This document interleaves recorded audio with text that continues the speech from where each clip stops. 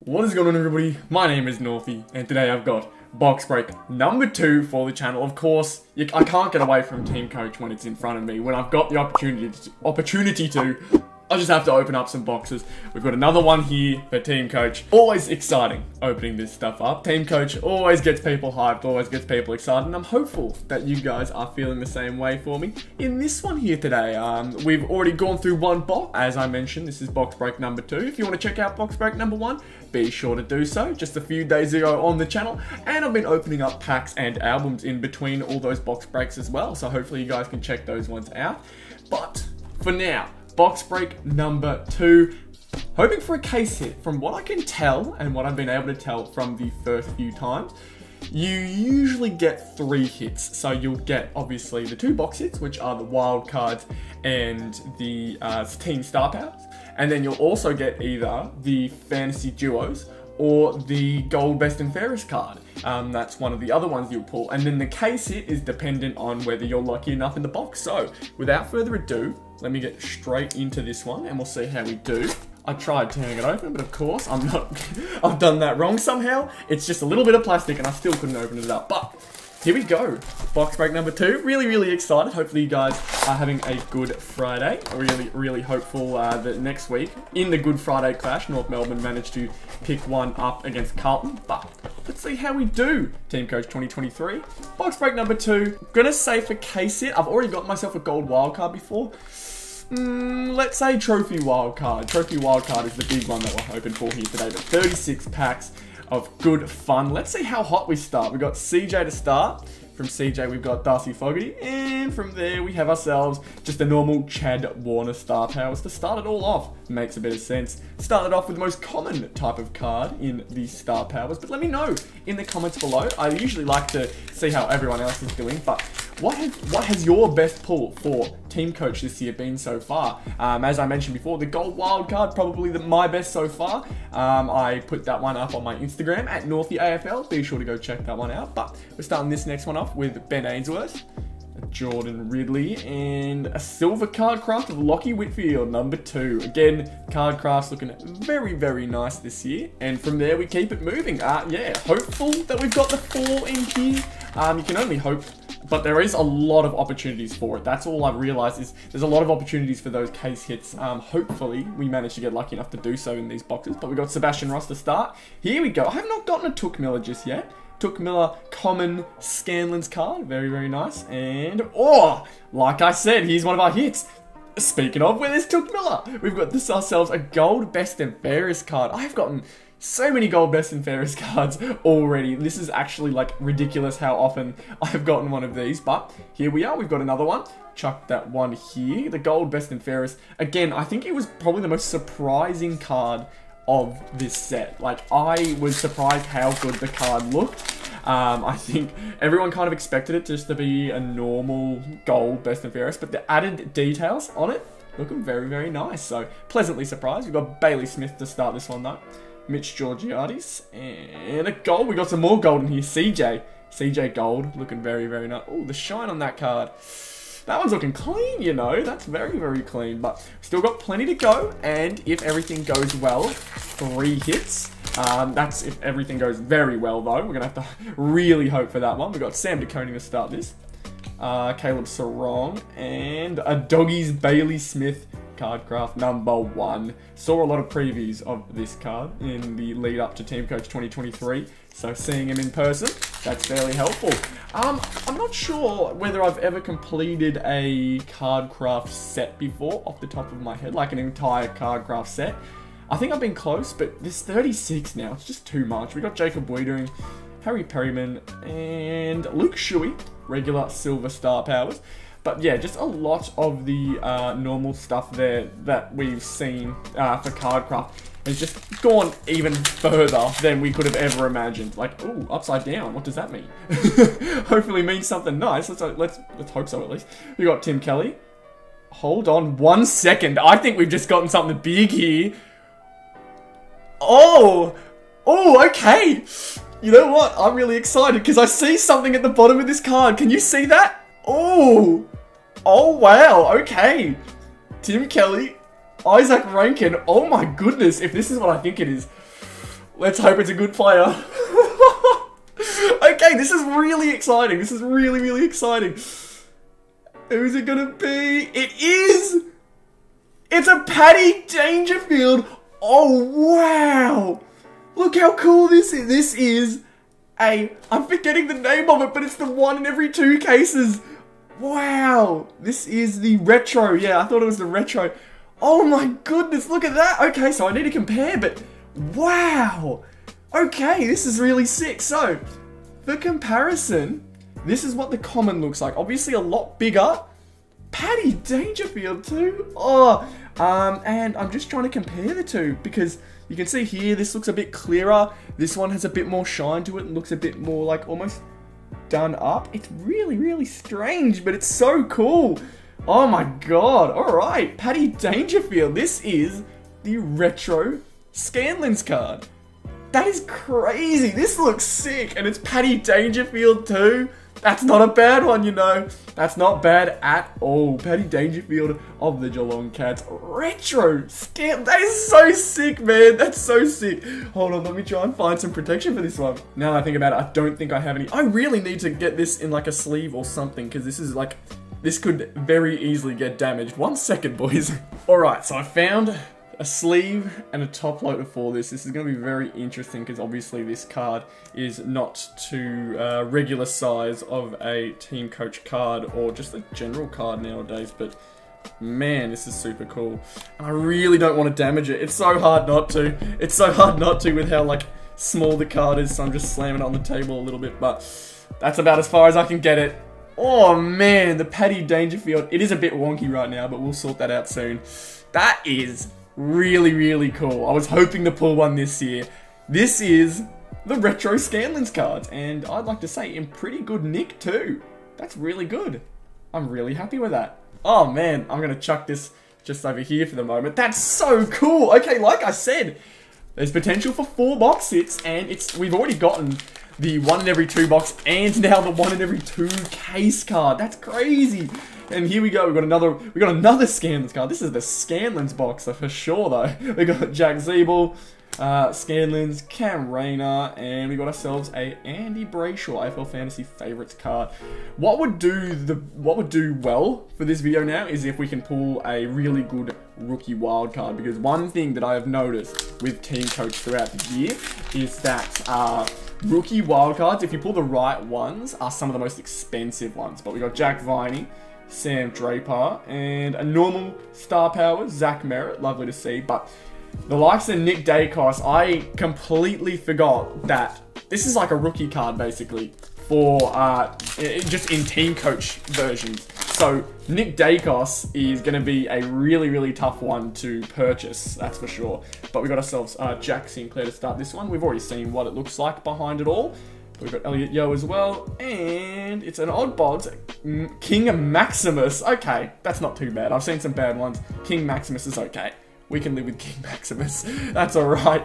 Keep it moving though, because like, I don't know. Oddbods are, Oddbods are so old to me now, man. I've, I've really like lost my excitement for them. But we've got Daniel Ritchie, uh, Tom Liberatore, and another star powers, Cam Zurhaar. Lovely, good stuff we'll take that. Uh, next pack, I'm honestly just really happy. Like, that is a one in every two case card. Managing to pull that in this box, super cool. Super, super cool. Toby Nankervis to start this one. Brodie Smith. And James Sicily. I'm hoping that's the first one that's been pulled on YouTube. I really, really hope so because that's a super cool look at what like a retro Scanlens looks like. Because I noticed it like as the pack like as I opened the pack. Obviously, it being upside down gave it away, which was really like uh, it's both good and bad because a lot I've, I've noticed some people actually liked the fact that commons were at the front last year, and that would tell you if you got a case it, but. That was upside down. I could just tell that it was a retro Scanlens card because the card was like just kind of hanging out the bottom of it, which was really strange. But Jack Silvagni here, uh, Jeremy Howe, and got a gold. Got another gold here. Rory Sloane. I actually really like the design of the gold. I think I've mentioned it um, in previous videos and already in this one, but I think although the collection is a really tough one and a bit of a strange one to bring back, I think the gold uh, cards just in general are really, really nice. But got ourselves Scott Pendlebury here in the Scanlens. Obviously, Scanlens pretty pretty happy with Scanlen so far in this video. Christian Salem and another star power. We've got Bailey Fritsch of the Melbourne Demons. Nice, nice. Um, I'm interested to see what team star powers we have, as um, if you guys are unaware, we are about to lose the ability of having all our star powers cards. Uh, we are going back to the ones that you own. But this pack, we're starting off with a Luke Parker, Shannon Hurn, and... Oh, oh, okay, here we go. Richmond Tigers, Jayden Short. Team Star Powers for Supreme. I will take that because he can, on his best days, pull out some really, really nice stats. So Jayden Short, that's a nice pull. That's a really nice pull. I definitely will take that. Nice stuff. Man, the hits have just been really on point so far today. They've been super on point. Obviously, it does help when you uh, pull one in every two case card, but you know, I think we've been alright. And now we're just waiting on the wild card, which is always really exciting. I want to see a rookie wild card. That would be really sick. We got Michael Walters, Paddy Dangerfield, and a Daniel Rich Silver Star Powers. But um, I think if you remember in a video that I recently uploaded, I mentioned that often um, the big case cards are at like the top for some reason. I just know that they're at the top a lot more. Um, so really cool to see that that kind of like worked out in my favor this time. We've got Jake Lloyd, Bradley Hill, and Jack Crisp. I usually don't um, trust the big case hits to be at the bottom of the box. I feel like if you pull um, your three other hits before you pull a case hit, then the case hit just isn't coming. The case hit will come first, second, third. It's never going to be the last one you pull in a box. We've got Josh Ward here. Uh, Karl Amon, two Haw Hawthorn Hawks there. And a Trent Cotchin. Silver Star Powers. Not bad at all. Keep it moving. We're interested to see what, what this wild card is though. This is a really, really exciting box. This has been action packed, man, and I'm not complaining whatsoever. We got ourselves uh, Jayden Short though here. From Jayden Short, we got Charlie Cameron, another Silver, I guess. I don't know. Sam Darcy and Darcy Dadoka. See, this is what I mean. what does what the what what's what's the point of the duh? I, I guess because it's like alliteration or whatever. Cool. Please get rid of those. Please, we need to see oddbod oddbod gone sometime soon in the near future, as it looks like we've got another one here, which is thankfully our last one, I think. It'll be our last one. But Brennan Cox, Jamarra Ugle-Hagan, and last one, Hugh Magnet. Hugh McMagnet. Hmm. Okay. Yeah. Whatever. We just keep it moving. just, just. It's better we move on better we move on from that because the more we look at that and the more we think about it, the more it hurts. Uh, next one, got Matt Gil, uh, Wealthy, sorry, Ugh. David Swallow. I don't know how I messed it up that badly, and a Connor Rozee, best and fairest silver card. I'm really happy that um, the minimum amount of big hits you can get this year is three. Like I've mentioned it before already, but I think it's pretty good that that's the case. We got Jarrod Witts here, a nice little Dyson Heppell Scanlens card, and we got ourselves Clayton Oliver. Best and fairest Clayton Oliver. Can't go wrong with the Melbourne one. Would be nice to get some of their players in my top team. Hopefully goes well for me this week. I will get a video out on that um, at some point in the future. I'm not sure whether I'm going to start the rounds this week or next week. Um, I have been a bit lazy, but we will get on to it. I know yeah, a lot of you guys remember it from last year. We've got Ben Cunnington, though. Uh, Dan Houston. And another best and fairest. My god, they're popping out everywhere now. Jeremy Cameron, silver best and fairest card for the Geelong Cats. Again, can't go wrong with Geelong players, although they have been a bit lackluster to start. I think a lot of people are expecting Geelong to get back on the horse soon enough. I think they will find their stride once again. But we've got Christian Petracca, start this pack. Alex Pearce, the Fremantle captain, and a Sebastian Ross, Silver Star Powers. Again, beautiful look for the Star Powers this year. I, th I, think some people have said that their favorite looking card is the Star Power. Um, yet to pull a Neon. I haven't pulled a Neon before, like, ever since they've been introduced. So it'll be nice to see when they eventually come around, for me at least. But uh, you know what? I can't complain with what I pulled. I can't complain. Uh, asking for a Neon at this point would just be absolutely ridiculous. Josh Shelley, Mitch Lewis, and a silver card craft of James Sicily. Lovely stuff taking that one. Saving my gold card craft luck for later is what we're doing, it seems. Next one up, we've got ourselves uh, Tom Atkins. From Tom Atkins, we got Scott Pendlebury. And it's another gold. I was getting excited there for a little bit. I got to remember, gold is somewhat common, more common than usual this year. we got Jack Crisp though, a nice gold card to pull. Very, very nice one. I'm really, like, this box break, although, like, it has been super action-packed, it's been quite calming. It's actually been quite calming, and maybe it's because we pulled what we wanted, like, towards the start, and so now it's just like, we know we're not going to get anything too major, but we're happy with what we've gotten so far, that's for sure. We've got Tom Doedee uh, to start that one. Hugh McCluggage. And here we go. Haven't seen many fantasy favourites just yet as we get Jarrod Witt. I think we've seen one before that one, so going to expect a fair few more now, I think is going to be the case. But let's see what we have on offer. Still waiting for that wild card to pop out. We got Hunter Clark here. Uh, Nick Naitanui Scanlens. It's a cool little Scanlens card to pull. And an Ollie Wines, number two card craft. Okie doke. Keep it moving. Don't put you there. You're in that pile, and the rest of the comments here.